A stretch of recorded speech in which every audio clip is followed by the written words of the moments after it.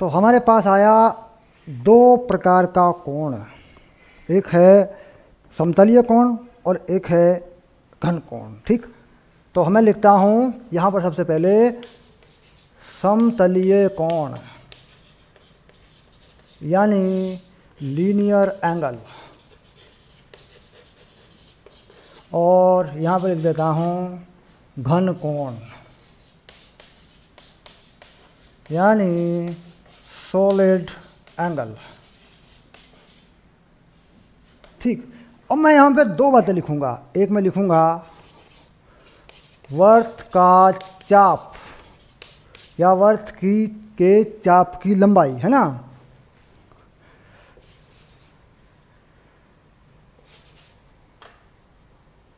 यहाँ लिखता हूँ, वर्थ के चाप की लंबाई तो ये होती है टू पाई आर। अगर कोई वर्थ हो, उसका त्रिज्या हो आर, ठीक? तो ये होती है वर्थ के चाप की लंबाई, ठीक? तो यहाँ पर जो ये कोण है ये, टू पाई, ये किसमें है? कहता है जी ये है रेडियन में, ठीक? और यहाँ पर ये परिभाषित होता है कि पूरे चाप की लंबाई में जो रेडियन में कोण है, वो है दो पाई जिसमें पाई का मान है बाईस बटे सात। ठीक, अब इसको डिग्री में बनाया जाए तो कहता है 360 डिग्री हो जाएँगे दो पाई के बराबर। ठीक, यानी अगर पूरे को बांट दें तो कितने डिग्री बनेंगे? 360 डिग्री और किसके बराबर हो जाएगा? दो पाई के। तो इस प्रकार डिग्री को रेडियन में बदला जा सकता है। ठीक? यानी 360 डिग्री दो पाई। एक डिग्री दो पाई बटे 360 ठीक? तो इस तरीके से बदल सकते हैं। जहाँ आवश्यकता पड़ेगी, हम वहाँ बदलेंगे। ऐसे सवाल आएँगे, हम बदलेंगे। ठीक? अब बात आई कि वृत्त का क्षेत्रफल। वृत्त का क्षेत्रफल, ये होता है पाई आर स्क्वायर। अब इसका क्षेत्रफल का मतलब इस व्रत के अंदर जो पूरा एरिया है, देखो। पूरा का पूरा एरिया, ये कितना है? Pi r square. तो पाई है, ये है घन कोण। ठीक? यानी सॉलिड एंगल। अब बात करें गोले के पृष्ठ का क्षेत्रफल, पूरा गोला। ठीक? तो कितना होता है अगर उसको लिखूं मैं? गोले के पृष्ठ का क्षेत्रफल, वो होता है चार पाई आर स्क्वायर। ठीक? यानी अगर कोई गोला है, उसके पूरे पृष्ठ का क्षेत्रफल। तो ये जो चार पाई है, ये क्या है? ये है घन कोण और अगर गोले को देखना चाहते हैं, गोले पे कैसे दिखेगा? कहता है जी गोला ऐसे मान लो, यहाँ मान लें। तो इस तरीके से क्या होता है, देखो ऐसे, ये गोले का क्षेत्रफल। अगर गोले के केंद्र पे बैठ के गोले को चारों तरफ़ देखें तो बन जाएगा उसके पूरे पृष्ठ का क्षेत्रफल। इसी प्रकार किसी घनाकार आकृति का अगर पृष्ठ का क्षेत्रफल देखें तो देखिए कमरा है, मान लीजिए, इस कमरे की इस दीवार का क्षेत्रफल, इस दीवार का क्षेत्रफल, इस दीवार का क्षेत्रफल, अगर सारे क्षेत्रफल ले लूँ मैं तो पूरा का पूरा चारों तरफ़ से कवर कर लिया मैंने तो पूरा घनकोण बन जाएगा फोर पाई। हालाँकि किस दीवार पे कितना घनकोण आया है, वो अलग बात है, लेकिन चारों तरफ़ का एरिया कवर कर देगा। ठीक? तो इसके बाद ये जो फोर पाई है और ये जो पाई है, ये क्या है? घन कोण है। यानी अगर व्रत का क्षेत्रफल चार के बराबर कर दें, यानी चार से मल्टीप्लाई कर दें, चार से गुणा कर दें इसको तो क्या बनेगा? गोले का क्षेत्रफल बन जाएगा। यानी एक गोले का पृष्ठ का क्षेत्रफल उतना होता है जितना मतलब उसका चार गुना होता है जितना एक वृत्त का क्षेत्रफल होता है, उसी त्रिज्या पर। ठीक? यानी चार वृत्त मिला दें तो एक गोला। यानी आपको बोला गया कि भाई, एक गोले के ऊपर एक कागज़ चढ़ा दो। पेपर चढ़ा दो उसके ऊपर। उसकी रेडियस इतनी है। ठीक? तो आप इस तरीके से निकालेंगे। कितना कागज़ चाहिए? यहाँ से निकालेंगे तो चार से गुणा कर देंगे उसको। कितना कागज़ चाहिए? तो ये जो कोण हैं, ये घन कोण हैं। और लंबाई में जो कोण इस्तेमाल होते हैं, वो होते हैं रेडियन वाले कोण। डिग्री वाले कोण कहीं इस्तेमाल नहीं होते। वो सिर्फ़ बताने के लिए एक तरीका है। मतलब एक अनुमान करने का, सोचने का, एक हमारी सेंस कॉमन सेंस बनाने का एक तरीका है। ठीक? तो कहीं अगर डिग्री में दिया है तो रेडियन में बदलें और घन कोण का कोई परिवर्तन नहीं होता। घन कोण बस एरिया के हिसाब से काम करता है। ठीक? तो ये हुआ कोण का परिवर्तन, कोण कैसे काम करता है। ओके?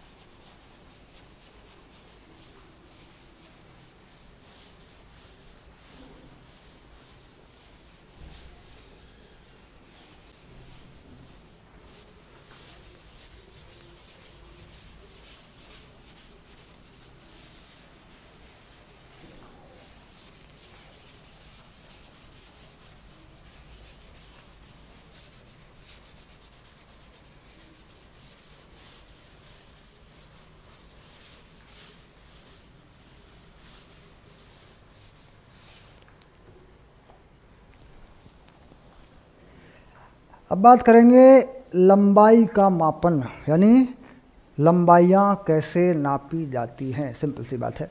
तो बात आ गई लंबाई का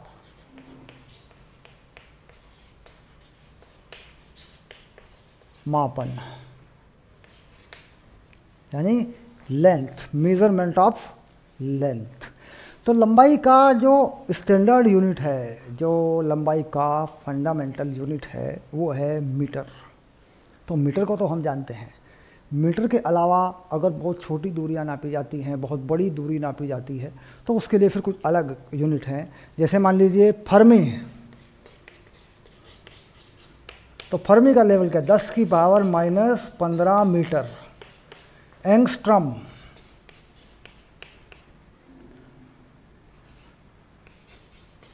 ये दस की पावर माइनस दस मीटर। ठीक? फर्मी, इसे लिखते हैं एफ़ एम इसे लिखते हैं ए के ऊपर डिग्री लगा देते हैं ऐसे, ठीक? Angstrom, okay? तो लिख देता हूँ आगे हिंदी में, फर्मी, और ये एंगस्ट्रम, ठीक? ये हैं छोटे, बहुत छोटे।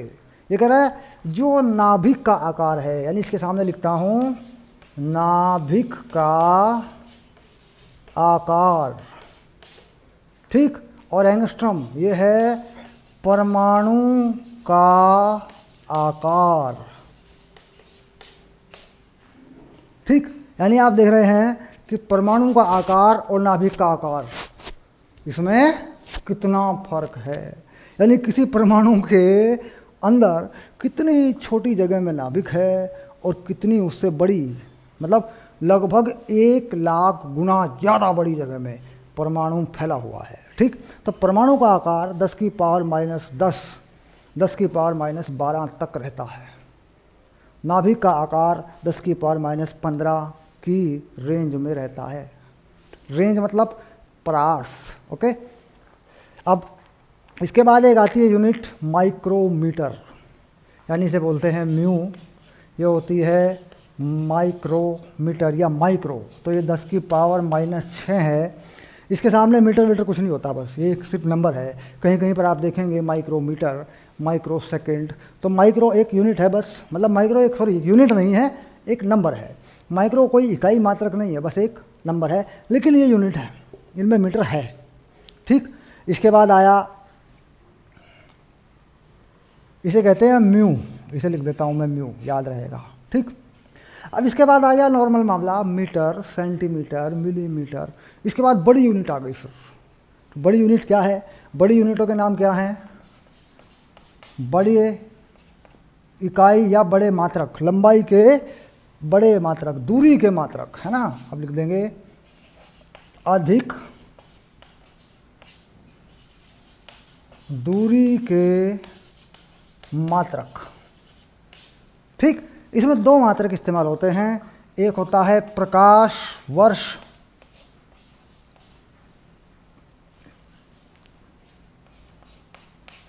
एक होता है खगोलीय मात्रक।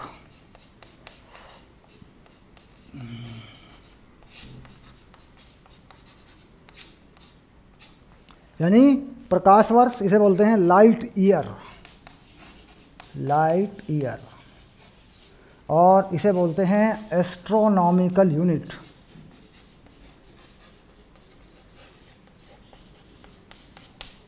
astronomical unit okay अब प्रकाश वर्ष क्या है और खगोलीय मात्रक क्या है? एस्ट्रोनॉमिकल यूनिट क्या है?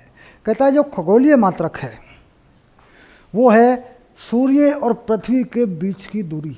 जितनी भी सूर्य और पृथ्वी के बीच की दूरी है, वही है खगोलीय मात्रक। प्रकाश प्रकाश वर्ष क्या है? प्रकाश द्वारा एक वर्ष में, निर्वात में चली गई दूरी। तो परिभाषित कर दिया गया दोनों को।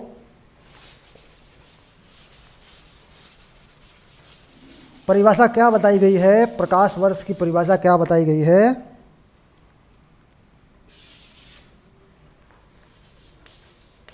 प्रकाश वर्ष। निर्वात में प्रकाश द्वारा एक वर्ष में चली गई दूरी। अब प्रकाश की चाल कितनी हो जाएगी ये दूरी? ये दूरी हो जाएगी बराबर, प्रकाश की चाल है तीन गुणा दस की घात आठ। मीटर प्रति सेकंड, और समय है एक वर्ष। तीन सौ पैंसठ दिन होंगे, एक दिन में चौबीस घंटे होंगे। एक घंटे में छत्तीस सौ सेकेंड होंगे। ठीक? तो ये दूरी किसमें आएगी? कहता है ये दूरी आएगी मीटर में। प्रकाश की चाल गुणा समय। तो ये पूरा का पूरा नंबर आएगा मीटर में। तो इसे कहते हैं प्रकाश वर्ष ठीक? अब ये नंबर कितना आता है मैं देख के बता देता हूँ आपको, ठीक है? यानी जो प्रकाश वर्ष है, वो कितना आता है? खगोलीय यूनिट कितनी होती है?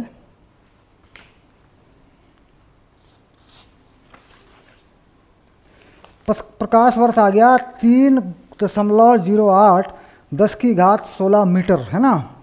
प्रकाश वर्ष को लिख रहे हैं। एक प्रकाश वर्ष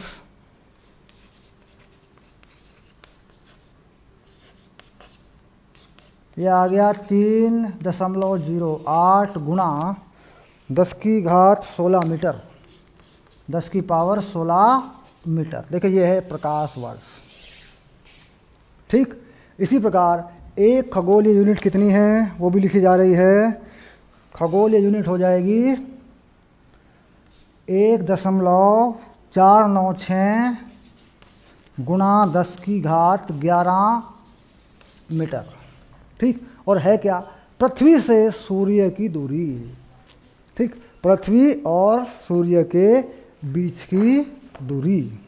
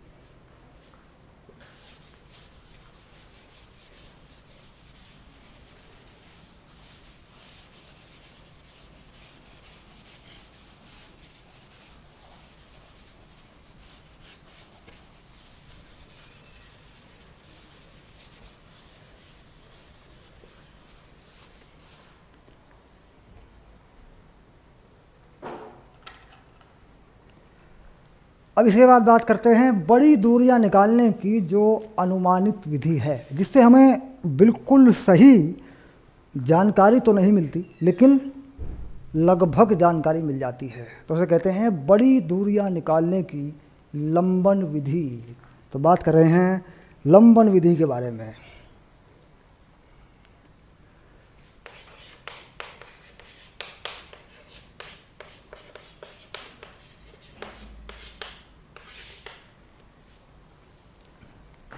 लंबन विधि ओके अंग्रेज़ी में क्या बोलते हैं?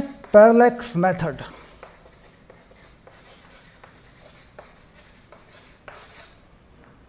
इसको बोलते हैं पैरलेक्स मेथड।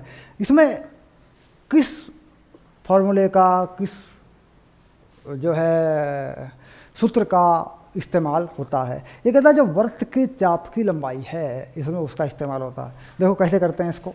मान लीजिए मेरे पास एक छोटा व्रत है। और मैं यहाँ से इस चाप की लंबाई देखता हूँ। ए बी ये त्रिज्या है आर और ये है थीटा ठीक? तो चाप ए बी की लंबाई। चाप ए बी की लंबाई। कैसे? अब देखो, जो पूरा कोण है, वो मुझे लगाना है रेडियन में। ठीक?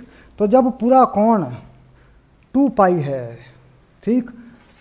टू पाई रेडियन कोण पर लंबाई टू पाई आर है। ठीक? अब ये टू पाई आर है, इसमें छोटा आर लिख दे, है ना? टू पाई आर ऐसे। ठीक है? ये है। तो क्या पूरे चाप की लंबाई है? अब एक रेडियन कोण पर लंबाई हो जाएगी टू पाई आर बटे टू पाई। सिंपल? और थीटा थीटा किसमें लेना है? रेडियन में। तो थीटा पर कितनी हो जाएगी ये? लंबाई हो जाएगी two pi r theta, two pi. तो टू पाई कट जाएगा तो हो जाएगी आर थीटा। ठीक, यानी ए बी चाप की लंबाई कितनी हो गई? इसे लिखते हैं ए बी चाप का निशान, ये हो गई आर थीटा। ठीक, ये हो गई ए बी चाप की लंबाई।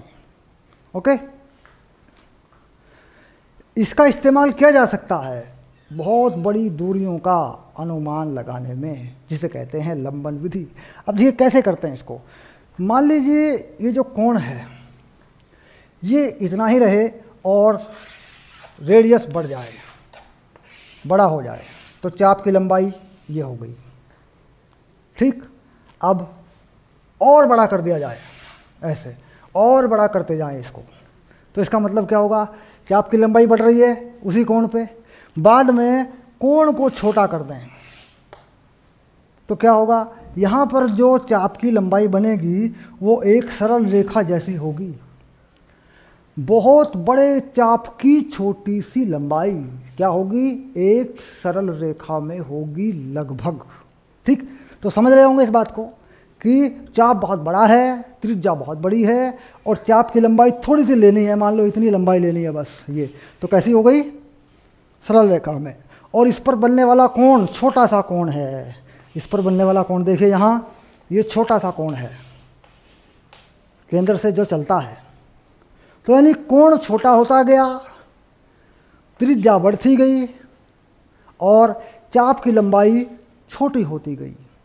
तो कहता है इस तरीके से ये दूरी, यानी ये ये बिंदु मान लिया m और ये मान लिया n तो एम एन के बीच की दूरी, यानी चाप पर दो बिंदुओं के बीच की दूरी, जो दो बिंदु बहुत पास पास हों, चाप की त्रिज्या बहुत बड़ी हो तो एंगल बहुत छोटा बनेगा।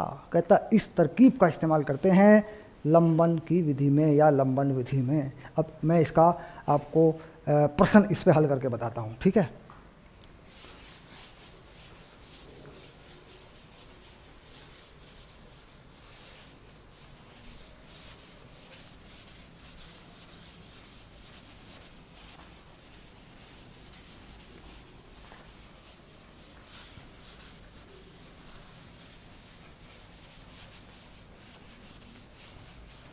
तो लंबन विधि यानी समझ में आ गया कि अगर यहाँ से कोई कोण बनता है ऐसे और ये जो दूरी है, ये मान लेते हैं कि भाई ये डी है, ये वाली, ठीक? और ये जो पूरी, ये बड़ा डी मान लेते हैं इसको, ये मान लेते हैं थीटा ऐसे मान लेते हैं, मान लीजिए इसको, ठीक है? तो ये होगी त्रिज्या, ये हो गया एंगल ये होगी चाप की लंबाई तो छोटा डी हो गया डी थीटा ठीक? इस कोण को कहते हैं लंबन कोण। और इस डी को कहते हैं आधारक। आधारक मतलब बेस बेस ऑफ़ ट्रायंगल त्रिभुज का बेस, ओके? तो यानी इससे, लेकिन ये लागू है, शर्त है इसकी। शर्त लागू है। कब? जब डी बहुत बहुत बहुत बड़ा हो, डी से, यानी डी डी से बहुत बड़ा हो, यानी ये एक चाप की लंबाई का हिस्सा बन जाए, चाप की लंबाई का हिस्सा बन जाए। चाप की लंबाई का हिस्सा कब बन सकती है?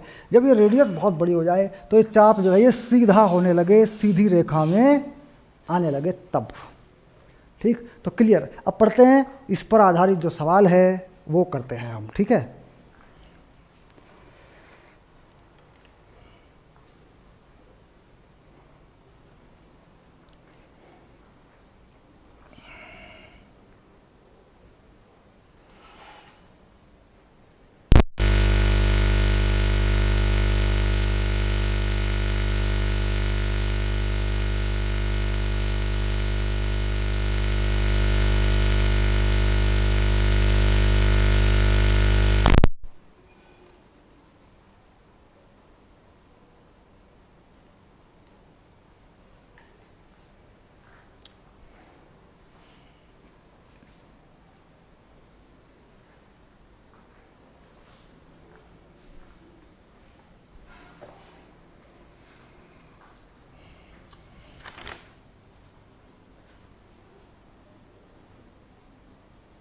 उदाहरण है दूसरा, और ये दिया है पेज संख्या 19 पर। एक व्यक्ति अपने पास की किसी मीनार की अपने से दूरी का आकलन करना चाहता है। वह मीनार सी के सामने किसी बिंदु ए पर खड़ा होता है और ए सी की सीध में बहुत दूर स्थित किसी बिंदु ओ को देखता है। सवाल क्या है, मैं आपको बना के बताता हूँ कि सवाल क्या है, पहले मैं समझाऊँगा, फिर उसका आपको हल करके बताऊँगा, ठीक है?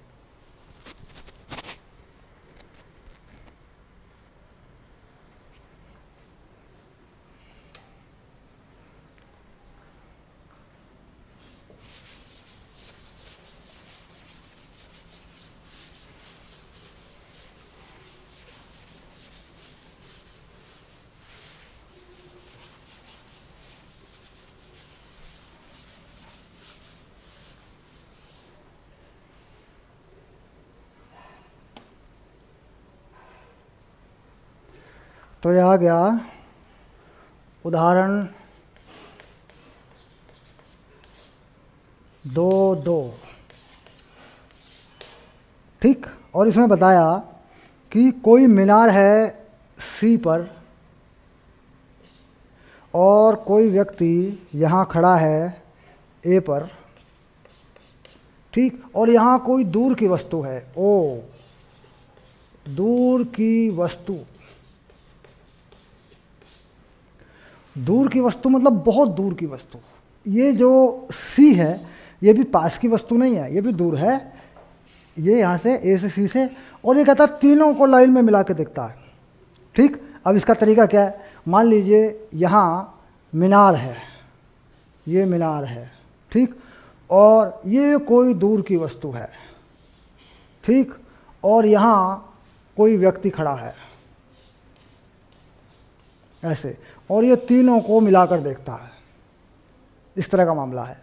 अब ये कह रहा है कि ये व्यक्ति ए से बी की तरफ़, दूसरे पॉइंट बी पे चलता है, चला जाता है और ये सौ मीटर तक जाता है। ठीक? कहता है, फिर मिला के देखता है। ऐसे। अब ये बिंदु वस्तु चूँकि बहुत दूर है तो फिर मिला देता है लाइन बी सी ओ बिंदु वस्तु जो बहुत दूर है। फिर उसकी लाइन मिला देता है। यानी पहले यूँ देखा, फिर मैं तुम्हारी तरफ़ आया, ठीक? फिर मैंने इसको देखा और उस बिंदु वस्तु को मिला दिया जो बहुत दूर है। तो मैं कितना चला यहाँ से? सौ मीटर। कहता है, ये सौ मीटर की लंबवत दूरी है और ये जो एंगल है, जो कोण है यहाँ पर, ये थीटा ये थीटा बताया गया, चालीस डिग्री चालीस डिग्री घूम गया। लेकिन ये जो थीटा चालीस डिग्री है ये चालीस डिग्री में नहीं लगेगा। क्योंकि डिग्री का कौन काम नहीं करता भौतिक विज्ञान में, मैथ में, फिजिक्स में। तो इसको बदलना पड़ेगा तुम्हें रेडियन में या फिर उसकी वैल्यू लगानी पड़ेगी। ठीक? अब ये कह रहा है कि ये कोण बड़ा है। ये छोटा कोण नहीं है। तो इस कोण का एंगल लगाओगे या इसका मान लगाओगे? तो कहता है, इसका मान लगा दो। अगर कोण बड़े होते हैं तो उनका मान लगा दो। तो ए से सी तक की दूरी कितनी दूर है मीनार? ये इस त्रिभुज का आधार बन जाएगा। और ये बन जाएगा लंब। ठीक? ये बन जाएगा कर्ण। तो इस पे लग जाएगा टेन थीटा तो टेन थीटा इक्वस टू लंब बटे आधार। लंब है सौ, आधार का पता नहीं, ये है ए सी ठीक? तो इससे क्या निकाल देंगे? इससे हम निकाल देंगे ए सी और थीटा की जगह पे क्या लगा देंगे? चालीस डिग्री।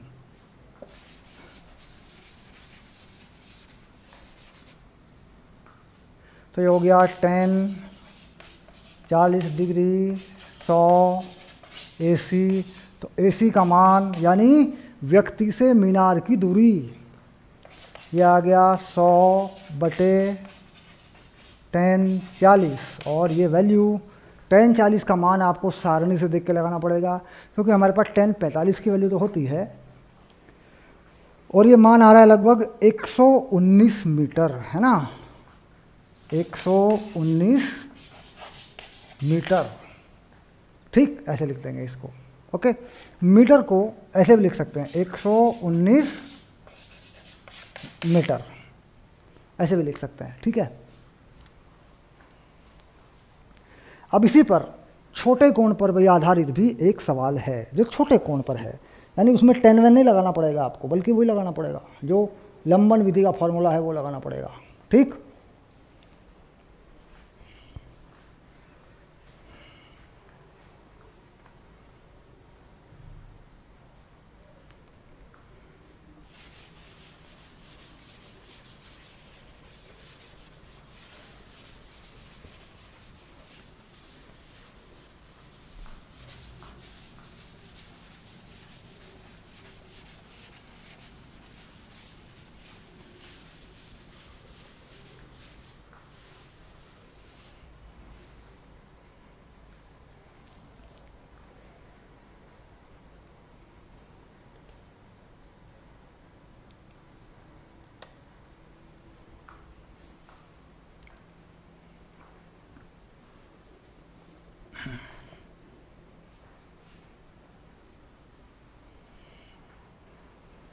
अब आ गया उदाहरण नंबर तीन, ठीक है? अब उदाहरण नंबर तीन में क्या है? ये देखते हैं। उदाहरण दो, चैप्टर दो का तीसरा उदाहरण है ना? उदाहरण दो तीन, ठीक? कहता है, पृथ्वी के दो व्यास्त विपरीत बिंदुओं ए एवं बी से चंद्रमा का प्रेक्षण किया गया। प्रेक्षण की दो दिशाओं के बीच चंद्रमा पर अंतरित कोण का माप एक डिग्री चौवन मिनट है। पृथ्वी का व्यास एक दशमलव दो सात छः गुणा दस की घात सात मीटर है।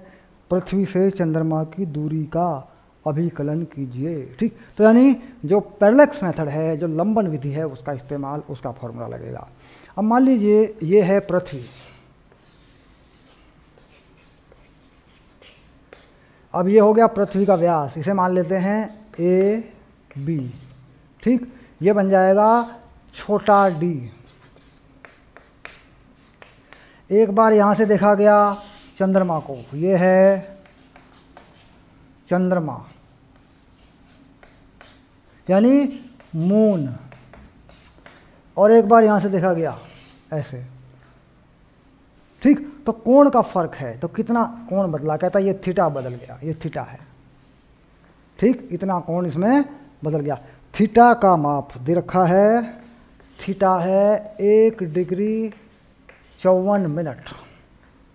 ठीक? अब इस कोण को बदलना पड़ेगा रेडियन में।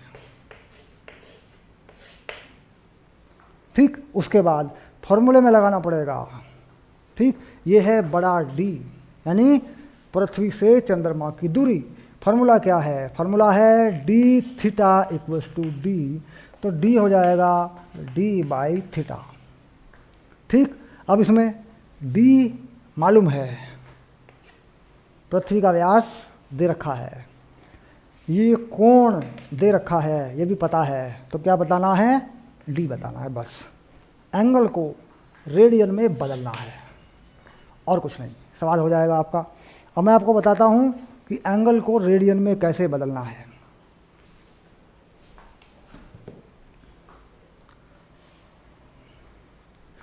सबसे पहले ये जो मिनट है, डिग्री मिनट, इसको डिग्री में बनाओ। ठीक? अब ये कितना बनेगा? देखो, साठ मिनट, एक डिग्री, एक मिनट, एक डिग्री बटे साठ, और चौवन। तो गुणा में चौवन लिख देंगे, चौवन बटे साठ डिग्री। अब इसे छः से काट देंगे, ये हो जाएगा नौ बटे दस। तो नौ बटे दस डिग्री। ठीक इस नौ बटे दस डिग्री को इस एक डिग्री में जोड़ देंगे, ठीक? तो कुल कितने डिग्री बन जाएँगे? एक प्लस नौ बटे दस डिग्री, ये हो जाएगा उन्नीस बटे दस डिग्री, ठीक? सॉरी, उन्नीस बटे दस डिग्री, पूरा डिग्री बन गया। अब डिग्री को बनाओगे रेडियन में। तो कुल मिला के इस कोण को मैं कितना लिख दूँ? यहाँ पे यहाँ पे लिख दूँ इसे मैं, एक डिग्री प्लस नौ बटे दस डिग्री। तो ये हो गया उन्नीस बटे दस डिग्री। उन्नीस बटे दस डिग्री को मुझे बनाना है रेडियन में, ठीक? तो रेडियन में बदलने के लिए क्या करूँगा मैं इसका? मैं बना दूँगा इसको थीटा को रेडियन में उन्नीस बटे दस गुना तीन सौ साठ गुना टू पाई। ठीक? तो देखो, two pi by sixty, three sixty से two pi by three sixty से इसको मैंने गुणा कर दिया। ठीक? तो क्या बना ये? ये बन गया रेडियन में। यानी ये जो कोण है रेडियन वाला, ये वाला, ठीक? ये कोण लगेगा और इस फॉर्मूले में। तो डी की वैल्यू आगे देखो, डी निकाल रहे हैं। पृथ्वी का व्यास, पृथ्वी का व्यास दे रखा है। ये दिया है 1.276 into ten raise to power seven okay और एंगल बन गया उन्नीस थर्टी एट पाई बटे छत्तीस सौ। अड़तीस पाई बटे छत्तीस सौ तो छत्तीस सौ चला जाएगा ऊपर। फॉर्मूले को हटा दो, ठीक है? फॉर्मूला आप समझ गए हैं, छत्तीस सौ। देखो, ये आ गई वैल्यू ये क्या आ जाएगी? पृथ्वी से चंद्रमा की दूरी आ जाएगी। ठीक। फॉर्मूला, फिर से लिख देता हूँ, फॉर्मूला कितना होता है देखो। डी होता है डी थीटा। ठीक। मीटर में मीटर में, रेडियन में। मीटर में मीटर में, रेडियन में। ठीक। किलोमीटर में किलोमीटर में, रेडियन में। यानी दूरी के मात्रक दोनों जगह सेम होने चाहिए, चाहे मीटर लो, चाहे किलोमीटर लो, लेकिन एंगल रेडियन में ही होना चाहिए। ठीक डिग्री के एंगल को रेडियन में बदलने का तरीका टू पाई बटे तीन सौ साठ, यानी दो पाई से मल्टीप्लाई करें, तीन सौ साठ से डिवाइड करें तो थीटा डिग्री से रेडियन में बदल जाता है। तब यहाँ लगाना है आपको फॉर्मूले में ओके